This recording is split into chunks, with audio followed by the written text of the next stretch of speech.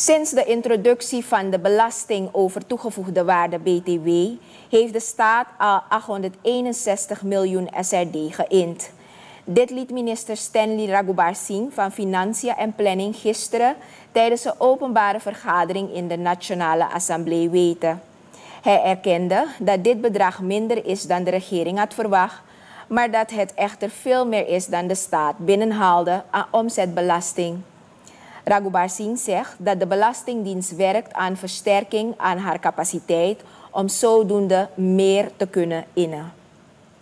Januari 199 miljoen, februari 248 miljoen, maart 309 miljoen en tot en met 17 april 105 miljoen.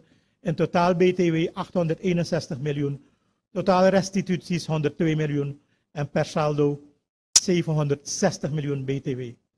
Bovendien werkt de Belastingdienst aan versterking aan capaciteit met CARTAC. CARTAC is de regionale unit van het IMF die assistentie biedt aan landen in dit soort situaties. CARTAC helpt ons. De United Nations Development Program helpt ons met, uh, met capaciteitsontwikkelingen. Die zijn deze week gearriveerd voor 18 maanden om een aantal dingen te doen. Onder andere ook heel duidelijk om ervoor te zorgen dat integriteitskwesties worden opgelost. Integriteitskwesties, corruptie, uh, voorzitter. Uh, dat we daar aandacht aan geven en dat oplossen. Er is samenwerking met het bedrijfsleven om de BTW uh, beter op de rails te krijgen.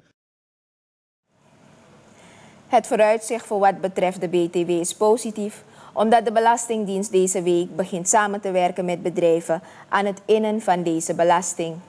Raghubar Singh laat ook weten dat het instellen van de presidentiële commissie, die de BTW voor zes maanden moet controleren, op korte termijn zal plaatsvinden.